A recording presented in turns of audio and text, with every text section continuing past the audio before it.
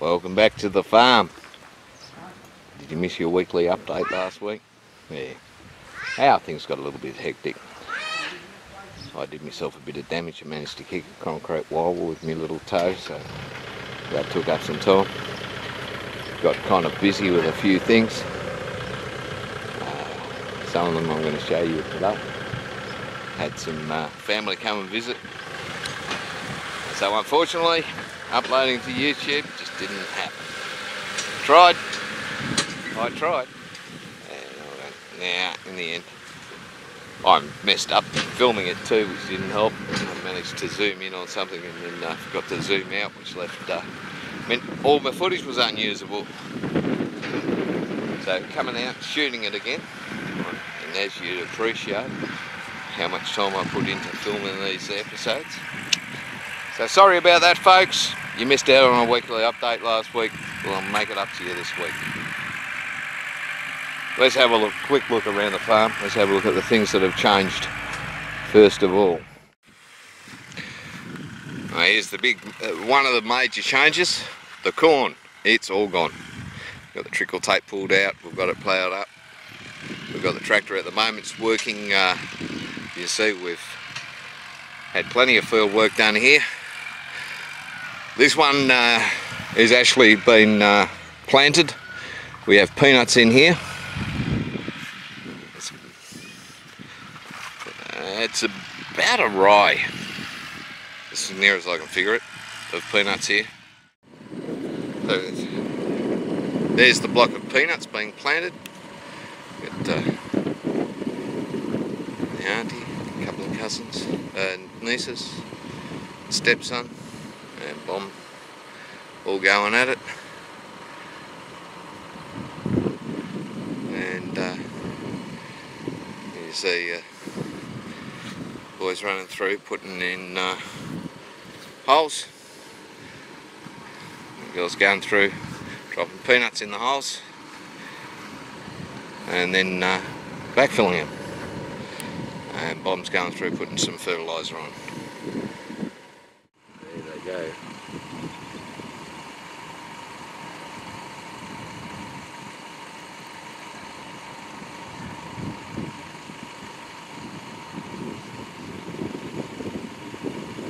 Yes, nieces are a little bit dressed up. We're having a, the next to it will be all peanuts too.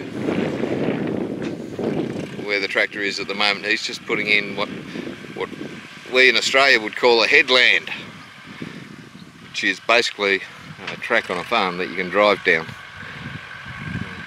Now, because it's a bit unusual, I like to have places to drive on the farm. Tyres don't quite get it because you could be planting this, just not that hungry. So we've got a road here. We're going to have a road going off here, straight across to the trees. And that means that when I want to do something, if I want to go and have a look at the, what's happening down the other end of the block, I can just drive there. I don't have to bloody walk there. So, that's what's going on there. We've got uh, where the plan is, these are peanuts. The block next to it's going to be peanuts. Not sure what we're doing with this corn at the moment because uh, where the corn was, that's been ploughed over. But as you can see, you know, it had plenty of weeds growing up through it. it uh, what happens when you improve the pasture. But uh, so that's been ploughed. I believe the pumpkins are gone as well at the other end there. We harvested the pumpkins. There was stuff all. We got nearly, uh, think it was about 20 kilos of pumpkins is all we got off the corn. This corn was a success. We had about uh, about 300 kilos of uh, corn, of saleable corn. We had another 20 or 30 kilos that the family ate or was eating. We've got, uh, we've kept some of it, uh, we've kept about 20 kilos, 20, 30 kilos for seed, uh, which is drying at the moment, so we'll be able to put, put uh, the same variety back in again, theoretically. Hopefully it'll grow. And then uh, we had another about uh, 20 30 kilo of uh, copse that didn't develop properly or uh, uh, something had eaten uh, and that went to uh, animal feed. These two blocks which were peanuts least ground we are going to put corn into. So this is the other change. We've had uh, the corn where this corn was is now peanuts as well. They're planted. Uh, we have uh, hopefully by the end of the day, but more likely by the end of tomorrow, or possibly Thursday, Friday, by the weekend, we will have trickle tape on these uh, peanuts. So they will be able to be watered as and when I want and try and get away from this. Oh, and can hand water it because I don't like doing that because that wastes time. There's no point having someone holding a hose when it can be running by itself. This is the bamboo. They have a look. We've got a uh, got a second fishing rod growing here, so that's uh, that's a new one. That's uh, that was a wow. A week ago it was about this big, so it's doubled its size in a week. But uh, that's two weeks and you can see if you have a look down here they are growing from down here in the ground. They are actually shoots. So that's good. That is not the original plant growing that that's actual shoots. This is the one that we planted just recently and as you can see this has bamboo shoots shooting up everywhere. We planted it was a shoot when we planted it did have some roots on. Uh, so that one's taking off at a million miles an hour which is fantastic this one is our old trusty one that's still still doing well. Still doing well on top. Hasn't thrown any shoots yet. But with this much growth on the top, it's got to be doing all right under the ground.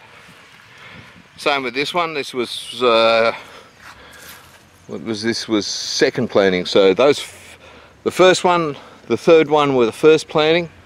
This was the second planting so this one's doing okay too. Uh, doesn't have shoots yet coming from the ground. Still has foliage growing on the top, which is good. As long as this foliage is growing, it means that the, the roots are taking up water and nutrients, so that means that we are have surviving plants. These will live. And that's fantastic. And of course, the shoot was a third planting, that was one we took out because it was uh, dead and we've replaced it with that one, so that's good. As you can see, the Auntie farm, Auntie's farm has been well and truly worked up. This is uh, getting ready for planting, I believe, with sugarcane. And looks like the sugarcane is going to be coming right up to our boundary, which is fantastic. Oh, I love that. But anyway, these trees I'd like to get rid of and continue our road basically straight up beside our, our blocks. He's been through here and he's got a got the road oh, pretty smooth. I mean, yeah, it should be better, but you know, it's not going to be. That's, that's as good as I'm going to get at the moment. So, that's what's happening there. I told you the peanuts there are, are in. You can see the makua here, the eggplants. They're uh, they're all getting flowers and fruits. They are doing okay. They're getting a bit of height to them. These, this is the second planting up this way. Uh, this is the first planting down this way. And you can see, uh, you see in there, there's a bit of a fruit uh, somewhere in there. Oh, look at that. There's a fruit. There's a makua. Fantastic. And they, you see there's got flowers all over it fantastic. Flowers and fruit, flowers and fruit, that's what we love. Look at all the fruits on those, there they are. You know, more fruits. Uh, we should be starting to get uh, another week or so we'll get saleable harvest off, off those. Uh, we've had a few, we've had a I had about five kilos in total off them so far, but you know, like in patchy bits, so it's all gone to the family, and families enjoy them immensely. We've got a couple of pineapples in here still, they're just about ready for planting out. Uh, the lime trees, all still putting on good growth. Putting on good growth. Remember these lime trees, these are only one year old lime trees, so getting fruit off them is a bonus. And probably by rights I should be pulling the flowers off and stopping them from fruiting. But you know, they're getting new, fresh growth we do get some bugs come through and have a bit of a nibble on the leaves uh, but not too bad. Everything's getting new growth and looking good. The hollow still needs cutting. So does the, the uh, citrus basil still needs cutting. The gamagon or dragon fruit are all still doing well. These ones if you recall first one up to this hydrant up here this was the first planting of them. And you can see they're all well they're getting close to the top of the post. There's a couple who have breached the top of the post. As they get over the top of the post we put in the uh, three pieces of uh, reo bar with a motorcycle tyre wired onto the top of them. They will then rest over that tyre and hang down and grow fruits which will be exactly perfect but you see they're all doing well. And uh, once we get past this hydrant, these are all the new ones. And you see some of them are doing extremely well too. And making their ways up the post. Doing nicely.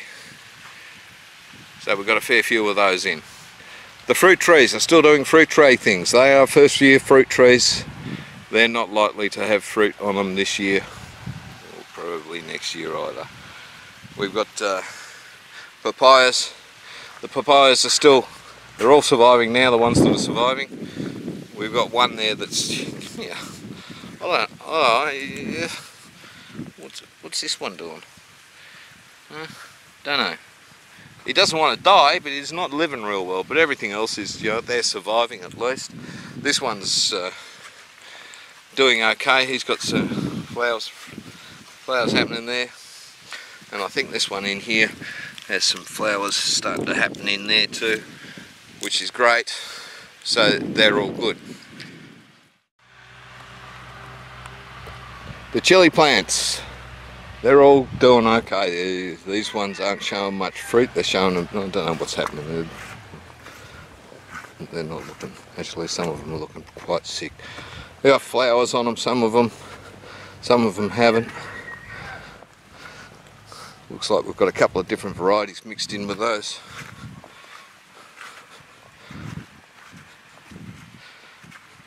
But, uh, you know, like this one's not looking so healthy. I'm not sure what's going on with them. But when we get down here, these ones, thousands of flowers, lots of flowers, lots of fruits. We're starting to get red ones. As you can see, get some red chili, red, some colouring. We're starting to get some chili showing. Chili on the ground there. But uh, as you can see, that's starting to do quite well. We'll start harvesting those this week which will be fantastic. The lemongrass is still doing lemongrass thing. Look how thick these bunches of lemongrass are getting. That's fantastic.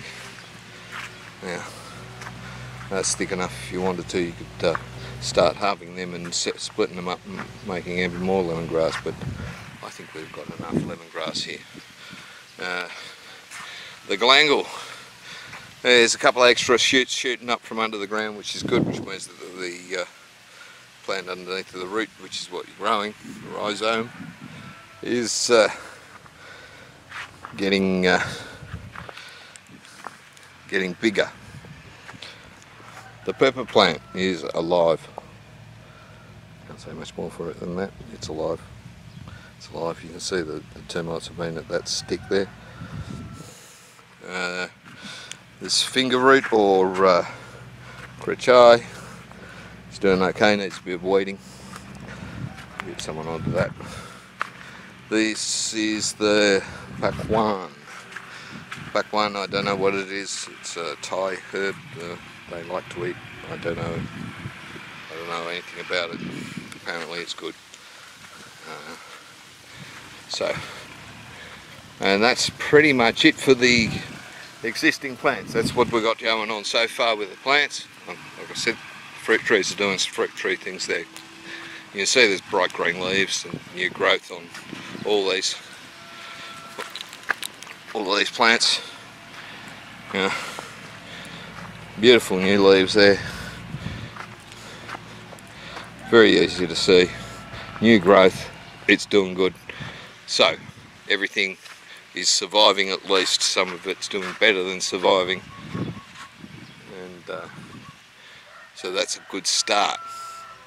Let's go and have a look at the aquaponics. This is where the work's been going on. So here we have the aquaponics. Finally, we've got the tank in place. We have the tank in place, we have it plumbed in. We have, this will be the water delivery, this is the water outflow. The water outflow goes through these two filters. This filter is simply a radial flow type filter. So what happens is water comes in here. It's, because it's inside this pipe, it means the water has to go down to the bottom when it comes in. And then it flows out the other side. Now, because it does this, slows the water down, causes most of the solids to fall out. You know, like the fancy lid, we use a piece of plastic we cut out the top of the tank. Then it flows into this tank. This is a simple filter. This pipe goes down to the bottom of the tank. It has uh, a cross piece which has slots cut in it so the water has to come up through the tank, through this uh, sunscreen, sun cloth, shade cloth, which is loosely packed in there. We probably need a bit more in there, but at the moment this is enough. So this should, uh, and it will stop any any solids that make it out of the radial flow filter. It will stop them going any further than here. Then we get a pipe actually has slots cut in it so it'll take water, goes out straight into the return sump. Again, fancy lid, if you cut them just right, they sit back on upside down nicely.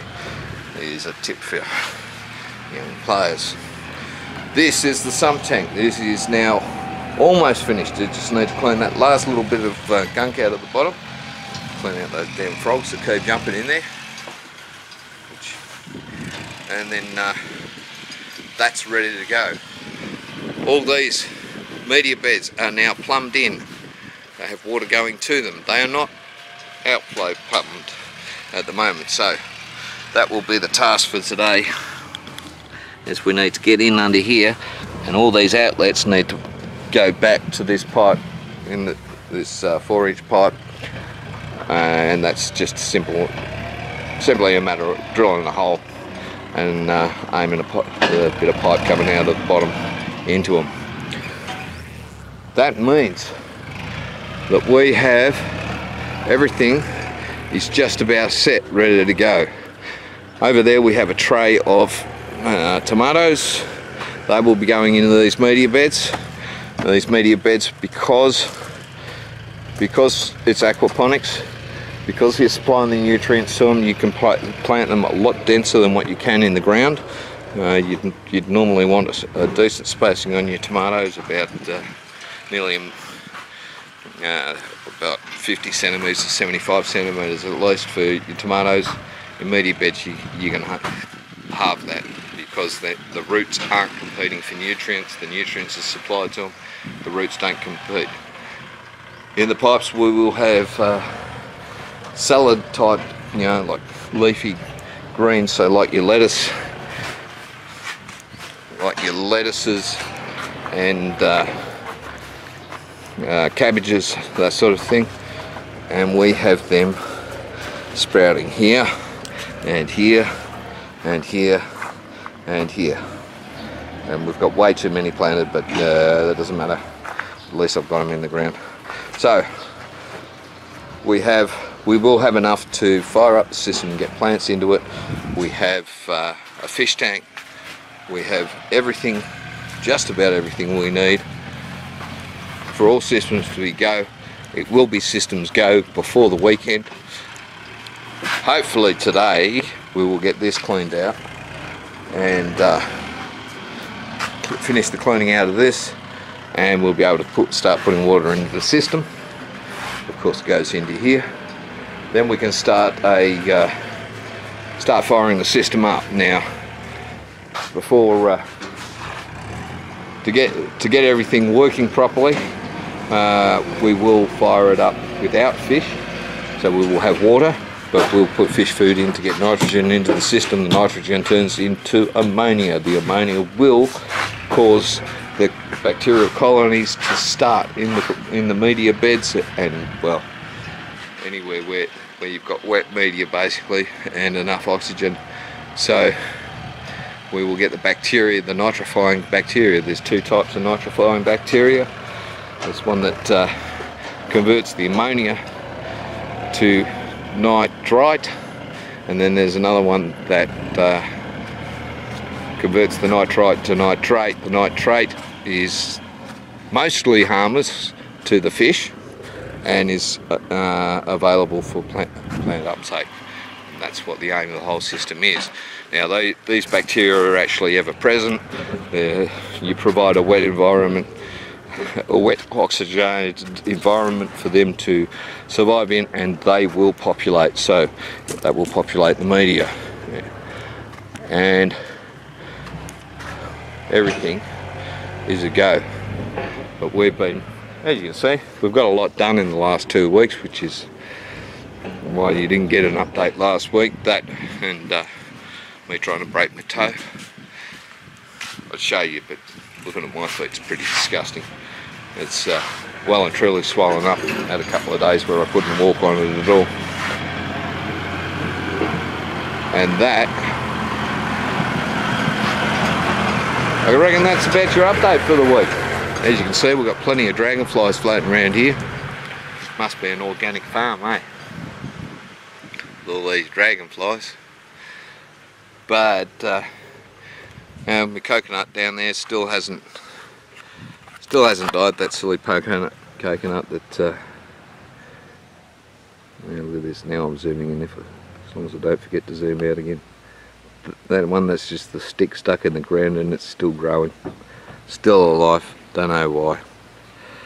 But we've also had guests and uh, the uh, village water has been off for the last two weeks nearly. So we've got the, the lads filling up the tank there, taking another load of water home. And uh, been running water around a bit. Plenty of water going home. We had, uh, at one stage we had eight women in the house. Seemed to be plenty of water getting used then.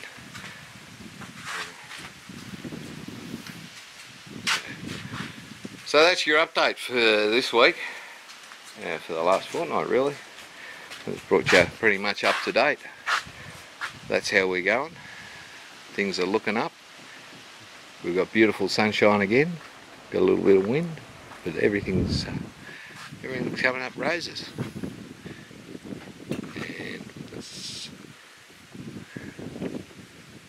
So that's your update for the week. Thanks very much for everyone that's been subscribing and uh, watching the videos. Uh, we've got uh, got getting the views that are getting right up there now.